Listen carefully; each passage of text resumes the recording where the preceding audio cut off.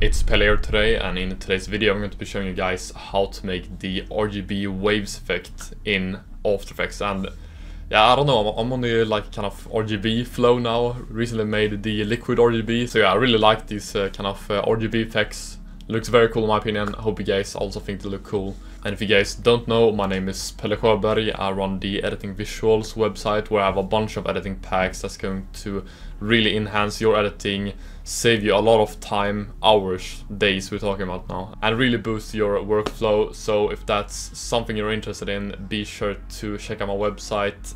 Now let's get into the tutorial. So here I'm in After Effects, I'm using uh, a clip here from Molly, Molly Santana's music video, uh, Chain Swanging. What I'm going to be doing uh, to start off with is basically rotor rotobrush out uh, Molly Santana in this uh, in my scenario here, um, so you're going to be roto brushing out your artist or whatever uh, you guys uh, have as a clip. But uh, if you guys don't know how to roto brush, I've made a tutorial on it, which will be linked in the description down below. After you have roto brushed, you will get this look here, the cutout version.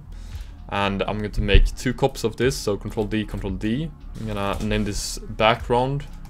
So I'm going to go to the layer, delete the rotobrush effect to get the background back. So now which one is the rotobrush uh, layer. Then the top one effect I'm gonna type. So we're going to be starting off by adding some effects to the effect rotobrush layer. And the first effect we're going to be adding is called flicker.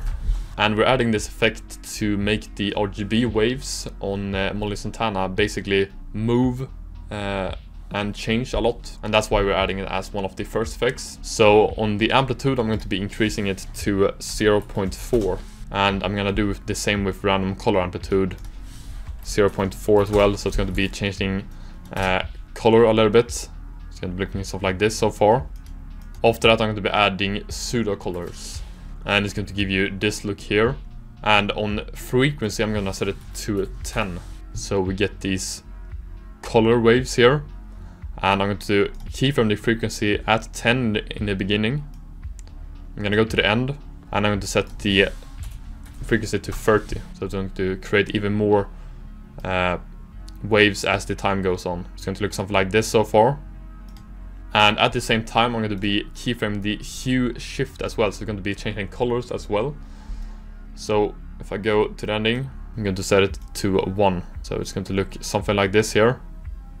Very trippy RGB waves here, pretty cool. And after that I'm going to be adding edge detect. Here I'm going to set the edge move to 6 and then the saturation to 2. I really want the colors to pop now. And then the threshold you will have to adjust. I'm gonna set it to 0.4 so it's going to look something like this. Really trippy and cool now. Then if you guys want to have it more focused on one color, you maybe want to have like blue color waves for example, you can increase the weight blue here and just get blue uh, yeah waves if that's uh, uh, some look you guys want to go for but I'm gonna go with the yeah neutral uh, using uh, red green and blue. After that I'm going to be adding the glow so I'm going to be adding glint here to make the uh, color waves glitter a little bit. And I'm going to set the threshold to 0.5 and after that I'm going to be adding deep glow. And here I'm going to set the exposure to 0.3. And you guys can choose if you guys want to go for the exponential uh, glow mode or the lens iris. I personally really like the lens iris, not gonna lie, so I'm gonna go with that one. And when you're uh, done with all of these effects here, you're going to be changing the blending mode of this layer to screen. And this is the look you guys will be getting with the RGB waves all over uh, Molly Santana looks very very cool and trippy effect in my opinion and yeah I'm very, very satisfied with this effect here and if you guys wanna spice up your effects even more I have a CRT distortion preset pack and I'm going to be showing you guys some looks from that pack. So if I uh, disable the deep glow uh, and the glint we can disable both of them. So we just have the RGB waves. I'm going to be adding a adjustment layer, Control Alt Y, effects and presets, animation presets, user presets, CRT distortion presets, and this pack is for you who really want to have like very complex, glitchy CRT effects without spending hours and days trying to make them, you know, by yourself. So uh, if you're like interested in that, be sure to check out the pack. But uh, here are some looks from the pack. So one of my favorite is the uh, glitchy yellow CRT, and you will get this look here from using yeah the yellow uh, glitchy yellow CRT effect here. Looks really really cool in my opinion, and uh, I really like this effect. That's just one of the effects.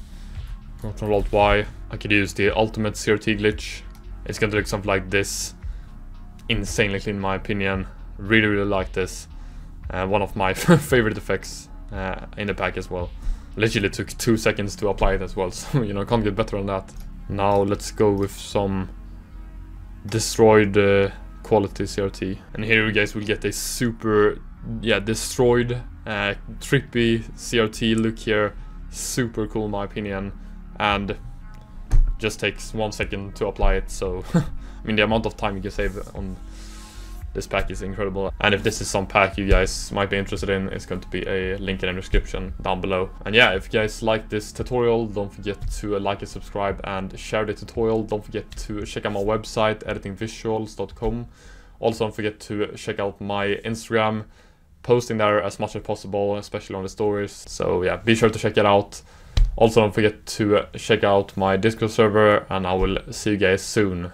Take care and have a nice day.